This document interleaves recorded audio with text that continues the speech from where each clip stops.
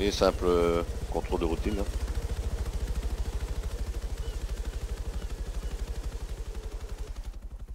Mais moi, ce qui m'intéresse, c'est sur, certaines personnes.